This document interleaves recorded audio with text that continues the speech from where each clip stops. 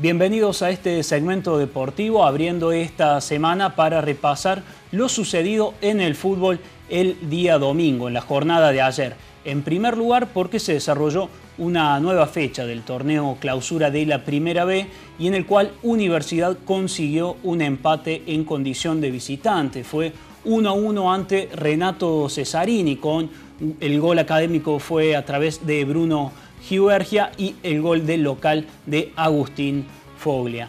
Con este empate, eh, Universidad, sin embargo, estira la ventaja del primer lugar porque Charrense Fútbol Club fue eh, su inmediato perseguidor, ha caído en la jornada de ayer. Así Universidad tiene 31 puntos y lidera esta tabla de posiciones del torneo clausura, seguido por el equipo de Charras con 29, Belgrano de Coronel Moldes y Juventud Unida de Coronel Baigorria con 25 y Sportivo Municipal con 24 entre las principales posiciones. Y pasamos al fútbol femenino porque hay que dar eh, dos buenas noticias porque los dos elencos de la universidad han pasado a las siguientes instancias, a las semifinales. En primer turno, el equipo de Universidad Blanco venció por tres tantos contra uno a Rosario Fútbol Club, recordando que en el partido de ida había sido empate en uno. Y en segundo término, aquí en el campus universitario, en la jornada de ayer, Universidad Verde cayó contra Fusión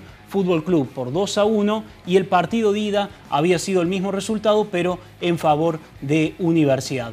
En la definición de tiros de penal venció cuatro conversiones a dos el equipo de Universidad Verde. De esta manera, tanto el elenco de Universidad Blanco como el de Universidad Verde se enfrentarán y se eliminarán entre sí en las siguientes instancias en las semifinales de este torneo oficial del fútbol femenino. Y por último, un adelanto de lo que se viene esta semana en el retorno a la actividad del básquetbol en el marco de la Asociación Río Cuartense de Básquet en la rama femenina estamos hablando, porque se va a disputar la fecha número 13 que tendrá acción para la universidad en el gimnasio mayor el día miércoles desde las 21 horas ante el equipo de, de Gorriones. Y con esta información del básquetbol llegamos al final de este segmento deportivo.